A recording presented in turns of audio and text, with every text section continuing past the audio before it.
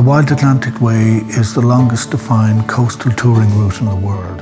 It stretches for 1500 miles from Inishowen in the north of Donegal right the way down along the coast to Cork in the south.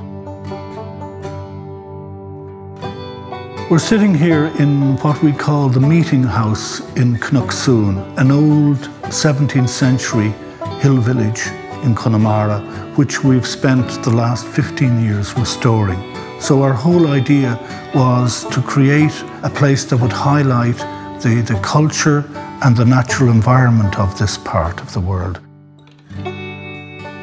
The rugged coastline has been formed by the, the elements. The wind and the rain have etched out small inlets, um, dramatic cliffs, and as you move along, you'll have the Atlantic on one side of you and spectacular scenery on the other.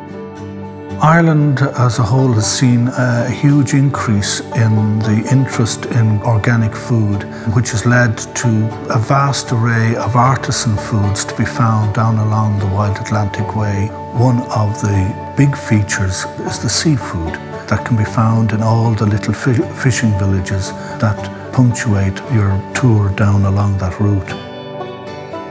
The local pub is an integral part of Irish society. You'll often be enticed to sit down by a fire and listen to some stories regaled by a local that can be uh, tall and short. My wife, uh, Dearbhaill, is a musician and she often plays music in the local pubs. Music has always been very much part of my life and of the people in this area and down along the Wild Atlantic Way.